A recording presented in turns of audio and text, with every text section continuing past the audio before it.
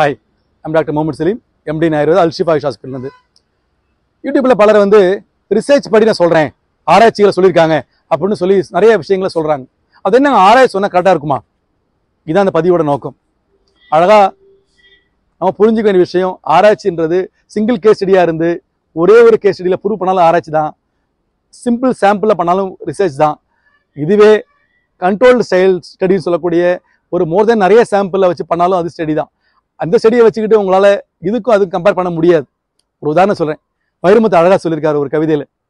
ஒரு தவளையை பிடிச்சி ஒரு காலை அறுத்து குதியை என்றேன் குதித்தது. ரெண்டாவது காலை அறுத்து குதி என்றேன் குதித்தது.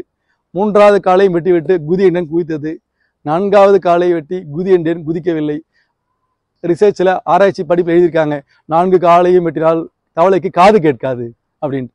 இது எப்படி இருக்கோ அதே மாதிரி தான் ரிசர்ச்சஸ் பல ரிசர்ச்சஸ் ரிட்ரோஸ்பெக்டிவ் ஸ்டடியாக அவங்க ரிசல்ட்டை வச்சுக்கிட்டு வச்சு கொண்டு வந்து தராங்க.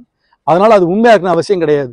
Even clinical trials fourth fifth study வந்து மார்க்கெட்டில் வந்த பின்னாடியும் நிறைய சைட் எஃபெக்ட்ஸ் இருக்குன்னு சொல்லிட்டு ஃபார்மக்கோ விஜிலன்ஸை ட்ரக்கை பேன் பண்ண நிறைய ட்ரக் அலோபதிலையும் இருக்குது நிறைய விஷயங்கள் இருக்குது அதனால் ஆராய்ச்சி ஆராய்ச்சி சொல்கிற சொல்லிட்டாங்க அப்படின்றதுக்காக உண்மையாக இருக்கணுன்றது அவசியம் எல்லா விஷயத்துலையும் கிடையாது.